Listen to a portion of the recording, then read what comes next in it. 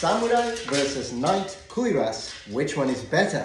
This is the cuirass we're looking at on the samurai side, and this is the cuirass we're looking at on the knight side. And from the back. In this case, they're both made of steel.